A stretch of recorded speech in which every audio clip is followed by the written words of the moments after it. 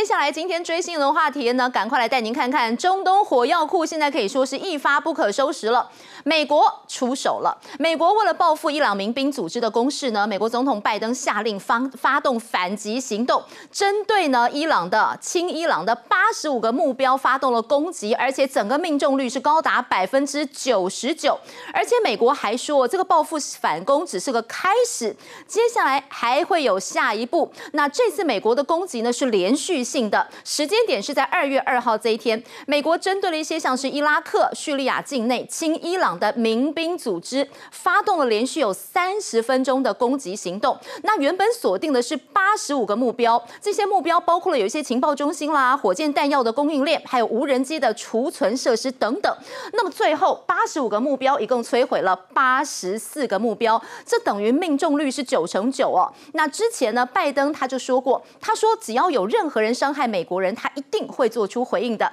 而拜登也已经先向国会报告过了，如果真的有必要的话。还会采取一些所谓的额外措施，那这似乎真的也意味着美国的反击只是开始而已。而美国国家安全顾问苏利文他也清楚的表示，他说呢，美军将会持续的进行报复行动，而现在美国锁定的目标都是在伊朗本土之外，也等于是打击伊朗境外的圣城部队。那未来有没有可能美国的攻击行动会直接攻击到伊朗的本土，伊攻击伊朗的境内呢？苏利文对此他拒绝排除这样的可能。性哦，也就是表示呢，未来真的情况不对的话。美国也可能直接的攻击伊朗本土，而美国在前一天攻击了八十五个地方之后，隔天呢，美国也锁定了也门的胡塞组织。英国是跟美国一块发布发布行动的，在当地时间三号的晚上，针对了胡塞组织控制的三十六个目标，也进行了空袭。那么对此呢，胡塞组织的回应，他们也非常强硬哦，